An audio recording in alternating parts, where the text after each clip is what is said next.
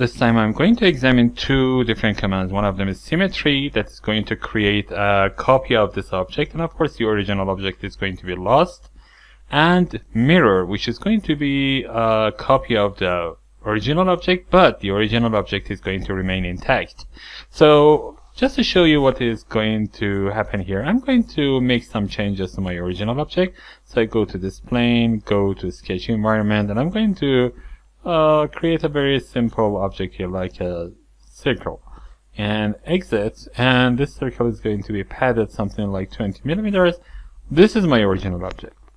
Now, if I wish to create a symmetry, I need to have a mirror element. Let's say that I can use one of these faces one of the planes or a plane that I create. I can do that. I go to insert menu, transformation features, and symmetry is here. I click on yes, and now I can select one of the faces or a, a, a plane, a pre-built one, or something that I have created as the copy, you know, reference. I click on here.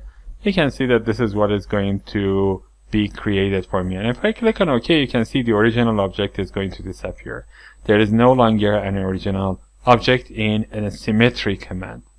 So let me press Ctrl Z and go for mirror command.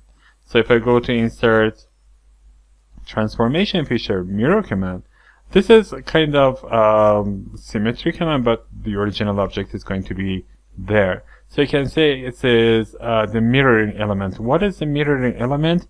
I can again select one of the faces, a plane, or I can create a plane. And you can see that if I right click here, it gives me the option to create a plane.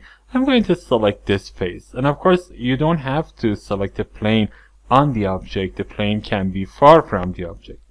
But here, I'm going to click on this, and you can see a copy of the object is going to be created for me and it says um, what is the object that you wish to have you can clear the selection and select the object yourself if I click on that you can see that the pad 1 is selected I can you know uh, select the features or I can select the whole part body but here what I'm going to do is to add pad 2 so you can see it says two elements and now I have all the objects that I wish to create a mirror from. So based on this, of course, you can select uh, to have other options like, um, you know, only this feature or only this feature or any other feature that you wish to have.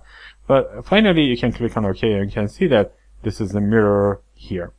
The nice thing about the mirror is all of the, you know, uh, the, the copy and the actual object are going to act like a, um, like uh, you know unique object like one object it doesn't you know uh, present itself as another object other than these small things that you can see here that they are uh, like um, you know individual objects for themselves